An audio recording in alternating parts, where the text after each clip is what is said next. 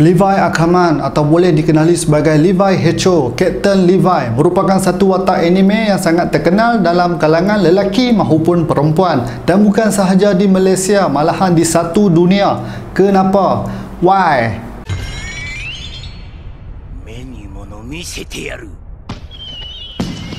Levi sangat mahir dan berbakat dalam combat battle. Kemahiran Levi ini sampai diiktiraf oleh pihak musuh. Rainer dan Bertol pernah warning Zeke tentang Levi dan Zeke juga pernah warning dekat Marley punya commander tentang ancaman yang dimiliki oleh clan Ackerman. Female Titan boleh ditundukkan. Beast Titan pun tak ada hal dan tak lupa juga 12 orang daripada tim Kenny berjaya dibunuh oleh Levi walaupun Levi dikepung dan mereka gunakan pistol.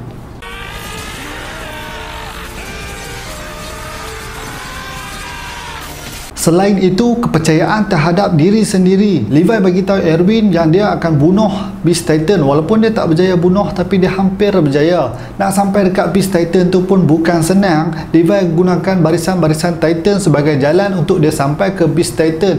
Nak buat macam tu pun kita memerlukan keyakinan yang tinggi dan siapa lagi yang boleh buat ketika itu kalau bukan Levi. Okey, seterusnya ialah keprihatinan terhadap soldiers. Kalau ada soldier yang dah nyawa-nyawa ikan, nazak nak mati, Levi akan pergi tenangkan dia sebelum dia mati. Buat dia rasa bangga dengan kehidupan yang dia miliki sebelum dia mati. Mikasa yang terburu-buru dalam membuat keputusan pun Levi pergi selamatkan dia sampai Levi boleh cedera.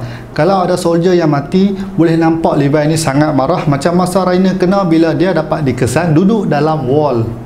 Levi juga pandai. Ini terbukti ketika dia menentang Kenny. Levi gunakan cape dia untuk melindungi diri dia daripada dilihat oleh Kenny sebelum dia slide turun dari bumbung. Semasa melarikan diri, Levi stay low dekat ground dan dinding untuk buat pihak musuh susah nak tembak. Dalam bar, Levi menggunakan botol wine untuk kesan kedudukan Kenny sebelum dia menggunakan senapang. Dan Levi bukan saja-saja masuk bar. Levi tahu yang pemilik bar mampu memiliki senjata api untuk melindungi diri dan Levi gunakan badan pihak musuh sebagai pelindung.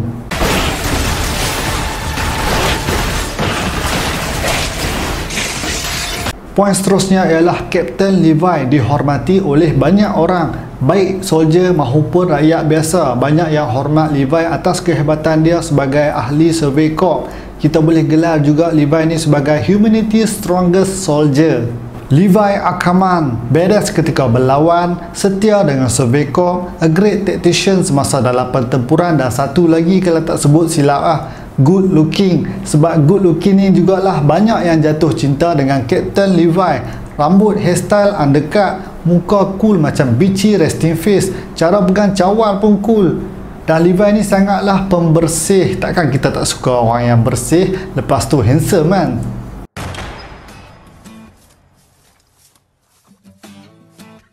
Okey sampai sini saja video aku. Aku cuba buat ringkas saja. So komen kat kata apa pula yang hampa nak aku cakap lepas ni. Like video ni kalau suka video ni. Subscribe pada yang belum subscribe dan terima kasih kepada yang dah subscribe. Jumpa lagi di video yang seterusnya. Noro Noro TV.